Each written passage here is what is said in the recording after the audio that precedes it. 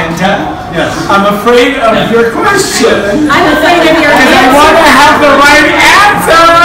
What is your favorite Be Christmas Christmas memory? and her figuring out each clue. My favorite Christmas memory.